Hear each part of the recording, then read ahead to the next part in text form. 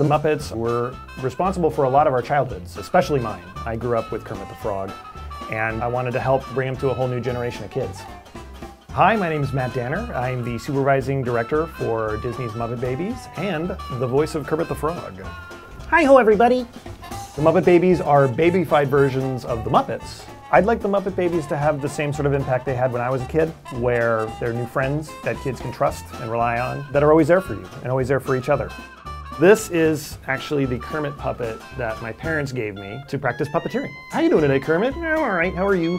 But actually, going even further back in time, this is the little beanbag uh, toy that my parents put in my crib when I was a baby. Up at the top, that's a, that's a Whatnot, which is a type of human Muppet that can be sort of swapped out, and it's of me. That's an original animal puppet from when I was a kid. Down at the bottom, uh, that sort of turquoisey puppet was actually my version of Kermit, which was a lizard named Izzy. I was probably like eight. I just took a pair of sweatpants that I had and ripped them up.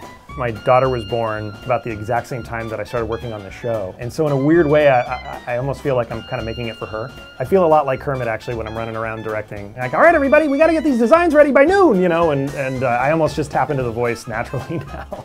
I attracted to cartoons and puppetry because it sort of had a little aspect of everything. I like telling stories, I like telling jokes, I like playing characters, and I like drawing. And uh, it sort of has everything for me. And that's why I just, you know, kept at it.